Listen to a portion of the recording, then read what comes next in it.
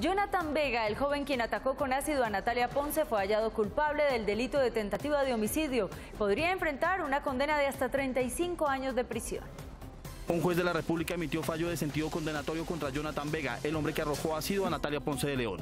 Durante la madrugada de este viernes, el juez penal del circuito con funciones de conocimiento de Bogotá determinó que Jonathan Vega Chávez no padece de problemas mentales, razón por la cual lo declaró penalmente responsable y se procederá a dictar sentencia condenatoria por el delito de homicidio agravado en modalidad de tentativa con causales de gravedad. La sentencia se dictará el 8 de septiembre a las 5 de la tarde.